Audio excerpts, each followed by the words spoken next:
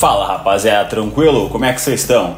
Não é Vitor Leite, somos donos da de Man, como deve estar cansado de saber, e esse aqui é o nosso canal, cara. Hoje a gente vai trocar uma ideia bem legal, vai continuar com as tendências para o ano que vem, vai falar sobre as tendências de cavanhaque para 2024, que é um vídeo que todo mundo gosta muito. Bora lá!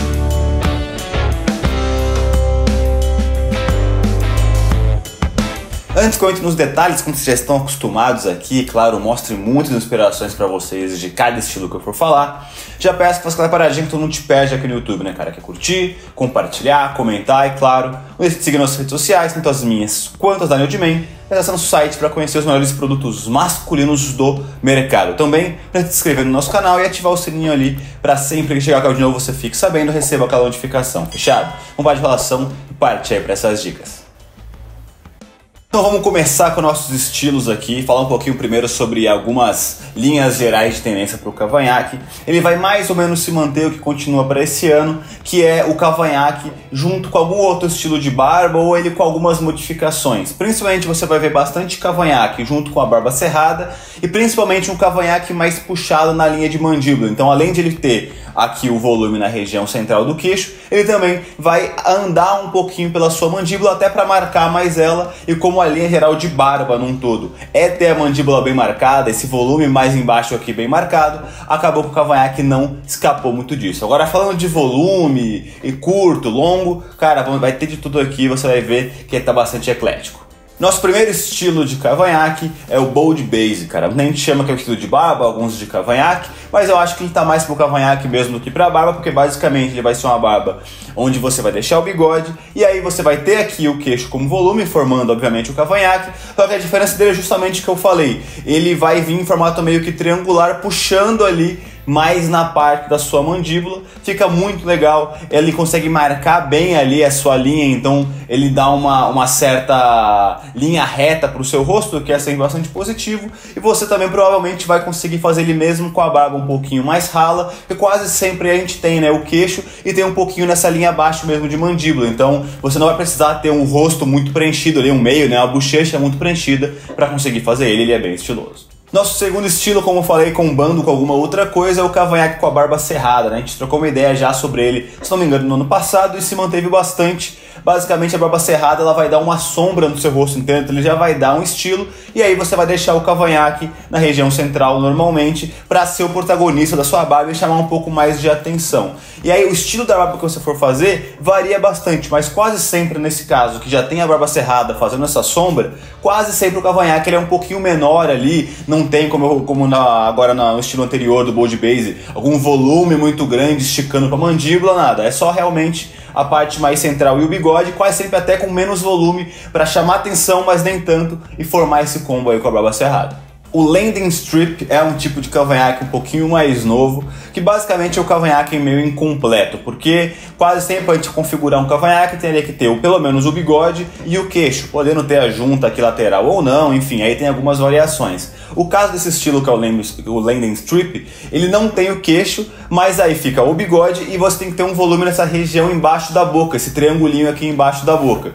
Então ele não chega a ser um cavanhaque completo porque ele não tem o queixo, mas ainda assim aqui é caracterizado como um tipo de cavanhaque porque ele não chega a também ser um bigode solo, né? Então ele acabou entrando nessa, nessa linha. É um estilo diferente, é um estilo também um pouco mais novo, né? Uma novidade para o ano que vem. Ele fica bastante legal. Ele entra aí bastante com quem já tem ali o tipo de rosto um pouquinho mais quadrado, um pouquinho mais triangular, só para dar ali um detalhe fica bem interessante. E também você não vai precisar ter tanta barba também, porque quase sempre a gente tem aí um volume no bigode. Aí vai depender se você tem aí esse pelo embaixo da boca ou não, porque tem muita gente que tem e tem muita gente que mesmo com a barba volumosa acaba não tendo, né? O cavanhaque âncora, um pouco mais longo, também vai estar tá bombando bastante aí pro ano que vem. Ele lembra bastante ali, é uma variaçãozinha ao Van Dyke, que basicamente vai ser um bigode e a região do queixo ela vai ser mais longa e quase sempre vai puxar também um pouquinho nessa região da mandíbula. Só que ao contrário do bold base, que ele ia bastante para trás, ele vai puxar só um pouco. E aí vai ter algumas variações.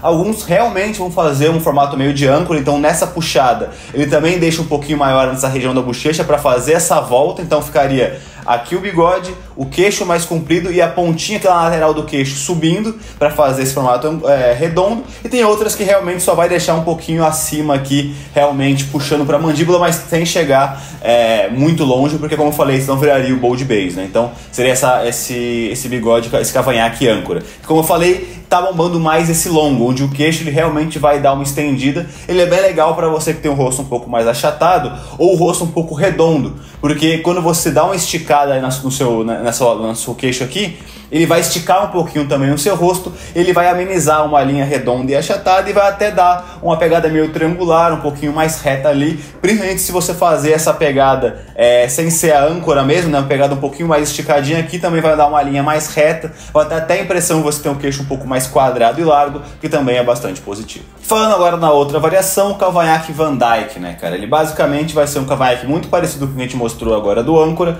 só que ele vai ter bastante foco na questão da junção dessa parte aqui baixa do seu do, da sua boca junto com o queixo e também quase sempre o bigode ele é levemente levantado nas laterais. Então vai ser um bigode puxado um pouco para cima com essa linha aqui de, de baixo da boca, juntando com o queixo, se não tiver a junção, pelo menos tem que ter essa, essa ponta. E aqui na parte da ponta do queixo, primeiro que ele não vai ser tão longo assim. Alguns casos você vai até ver nas fotos que está um pouquinho mais longo, mas não exageradamente, como a gente viu em alguns casos do âncora. E também algumas vezes ele vai puxar um pouquinho para o queixo, mas também não vai ser na largura do, do, do âncora. Então, se, como eu falei, ele não chegava nem perto do Bold Base, por no entanto, o Van Dyke ele, é, ele vai ainda menos. É só para dar um estilinho ali, dar uma leve esticadinha no seu cavanhaque para ficar bem interessante. Muitos casos nem precisa. Se você quer fazer um estilo mais minimalista, que fica bem legal também, que até lembra aquele estilo meio pirata, você pode deixar o bigode levemente levantado, um pouquinho dessa região aqui embaixo da boca e o queixo só na pontinha, não precisa nem esticar ele. Só essa pegada mais central também caracteriza o Van Dyke e vai estar até um pouquinho mais em alto em alguns casos. E assim como a gente falou lá no landing strip de um cavanhaque levemente incompleto porque não tinha parte do queixo, o cavanhaque baixo, que é o que a gente vai falar agora, ele também é um cavanhaque completo porque ele não tem a parte do bigode e também ele não tem o pelo 100% naquela parte pontuda do queixo, e sim na parte um pouquinho mais baixa, dando só um detalhe. Ele é bem legal, uma ótima opção para quem quer dar uma leve diferenciada, mas não tem tanta barba, tem só nessa região mais do queixo, quer fazer um estilo diferente, também é uma ótima opção. Você vai ver que nas fotos, por mais que óbvio não vai mudar completamente seu estilo de rosto, ele vai dar um, um leve grauzinho a mais de atitude ali para você, vai mudar o seu estilo, que é essa a intenção. Então você vê que tem muita gente estilosa com isso. Se você curtir e não tiver tanta barba, é bem legal. Nosso último estilo é o bom e velho cavanhaque cheio, né, cara? Ele é o clássico aí, que é aquele cavanhaque completão que tem bigode, tem o queixo e tem também a junção nas laterais. E aí, o classicão, classicão mesmo, ele é bastante arredondado, né? Ele fica bem arredondinho. E aí eu sempre falo aqui que muitas vezes não é legal você utilizar esse tradicional zaço, que é, que é redondo, porque, assim como eu dei alguns outros exemplos, é sempre legal que você tente deixar suas linhas mais quadradas. Então, se tem o rosto mais redondo, o rosto mais achatado, tudo isso, e você utilizar um cavanhaque arredondado, ele vai fazer com que você fique com o rosto ainda mais redondo. E o ideal é quebrar essa linha com uma pegada um pouco mais quadrada para conseguir equilibrar o seu rosto. Então, uma boa dica para você que quer utilizar esse cavanhaque mais cheio, mais completo e tudo mais,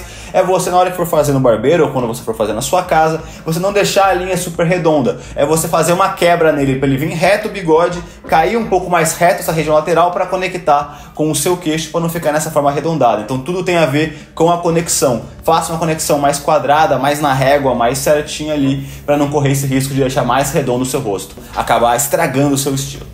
E rapaziada, foi isso, videozinho rápido aí pra vocês, pra mostrar vários estilos de cavanhaque que vão lá pro ano que vem, como eu sempre falo aqui, nos vídeos de tendência, não necessariamente só esses estilos é que vão tá bombando, né, cara? Então, vale a pena você dar uma olhadinha, se inspirar, vezes você já usa o cavanhaque, quer só dar, botar algum detalhe a mais e se inspirar em alguma coisa, é bem interessante você fazer aí, porque o que importa é você estar tá feliz com sua barba e também criar o seu estilo próprio, fechado? Então comenta aí qual tipo você mais gostou, qual tipo você tá utilizando agora, ou que variação você vai fazer, eu acho que vai bombar, sempre é legal a gente trocar essa ideia pra todo mundo junto.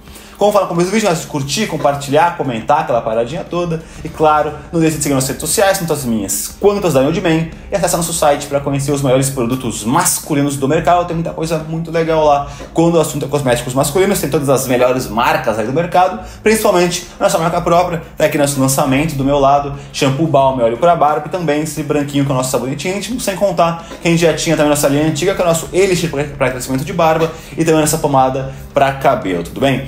E E como você falou, aqui no finalzinho também a gente está presente nas plataformas de podcast, porque a gente é nosso podcast próprio, que a gente grava toda terça-feira, às 8 horas da noite aqui no YouTube. Fica gravado aqui, você pode assistir, mas também se não tiver muito tempo, quiser só ouvir no correr do dia, só acessar qualquer plataforma de podcast, procurar Newdman que você vai achar a gente também. E se você curtir, precisa a gente ao vivaço, manda sua pergunta que a gente vai responder todo mundo. Fechado? Foi isso, rapaziada.